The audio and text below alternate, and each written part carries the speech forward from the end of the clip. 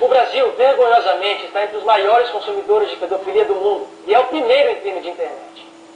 Peço o seu voto para meu irmão Leandro, deputado estadual 25800, Conselho Geral.